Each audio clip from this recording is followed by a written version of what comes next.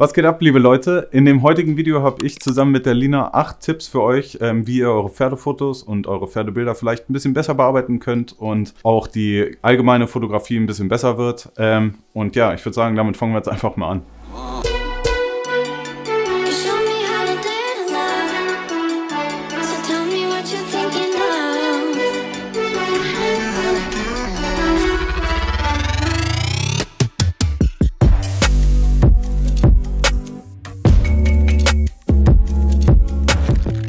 Tipp, den ihr vielleicht noch nicht so gehört habt, ist, geht selber vor die Kamera mal. Ich habe mich da sehr lange vorgescheut, hatte auch so ein bisschen Angst, dass es vielleicht nicht gut aussehen könnte, aber gerade selber, wenn ihr mal vor der Kamera standet und wisst, wie sich das Model fühlt oder eure Kundin oder eure Freundin vor der Kamera, könnt ihr das nachvollziehen und selber eben dann auch gucken, wie macht man das und das besser oder einfach, was sieht gut aus oder wie fühlt man sich dabei, dann kann man viel, viel besser die Person hinter der Kamera nachvollziehen, wenn man einfach selber mal vor der Kamera stand, anstatt sich immer hinter die Kamera zu verkriechen.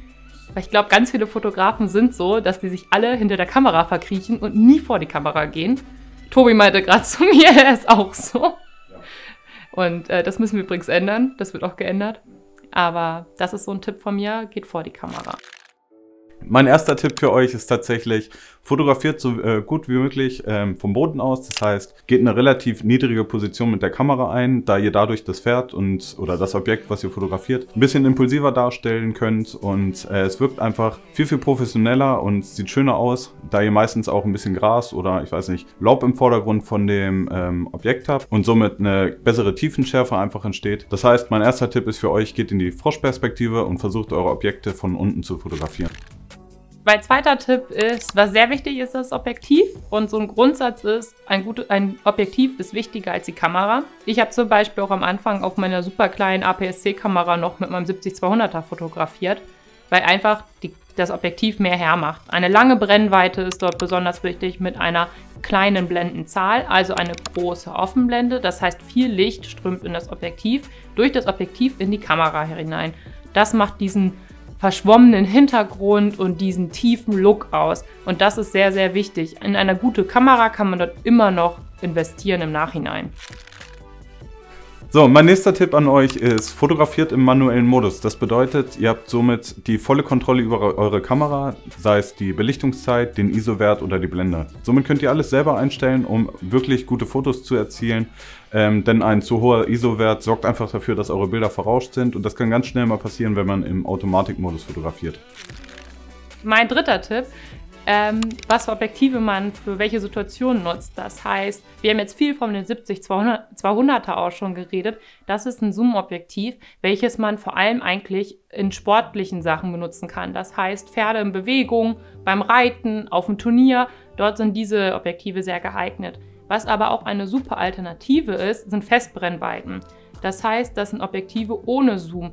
Diese Objektive sind sehr knackig scharf. Das heißt, diese Objektive sind besonders gut für Porträtaufnahmen.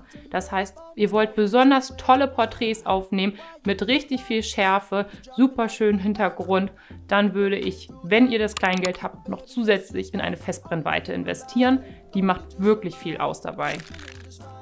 Außerdem kann ich jeden von euch nur raten, in RAW zu fotografieren. Das heißt, die meisten Kameras geben euch die Möglichkeit, RAW und JPEG zusammen oder nur in RAW zu fotografieren. Ich fotografiere aus platztechnischen Gründen tatsächlich nur noch RAW-Fotos. Diese RAW-Dateien bieten euch im Nachhinein eine viel größere Möglichkeit, die Bilder zu bearbeiten, sei es den Weißabgleich nochmal anzupassen, die Belichtung nachzuregeln oder abzudunkeln. Ähm, und so eine JPEG-Datei, die hat da gewisse Grenzen, da das Farbspektrum einfach von einer JPEG-Datei viel, viel kleiner ist als in einer RAW-Datei. Generell muss man dazu sagen, dass eine RAW-Datei einfach viel flexibler ist, was die Bearbeitung angeht, sei es um die Schärfe nachzustellen und zu regulieren, als bei einer JPEG-Datei.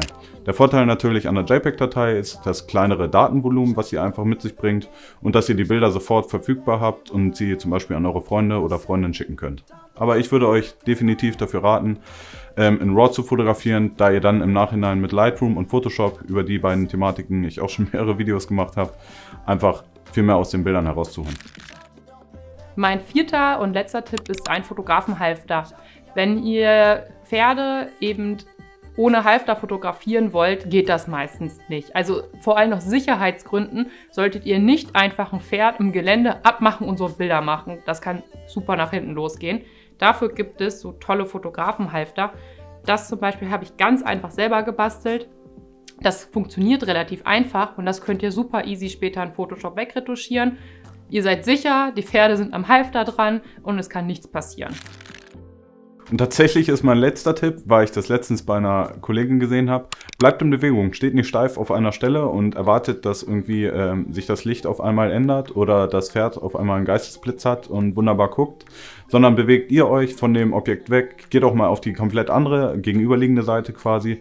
Vielleicht entdeckt man ja einen neuen Blick, äh, Bildausschnitt, der viel, viel schöner ist und so weiter. Das heißt, geht wirklich von links nach rechts, von vorne nach hinten auf das Objekt zu und so weiter. Und dazu muss ich sagen, ist der Tipp, den Lina schon gegeben hat, eine Festbrennweite zu nutzen. Sehr geil, weil da muss man sich aus gezwungenen Gründen einfach auf das Objekt bewegen und man muss vor und zurück gehen und von links nach rechts da an die äh, eine Festbrennweite nicht die Möglichkeit gibt, wie man einem 70 bis 200 einfach heran und rauszuzoomen.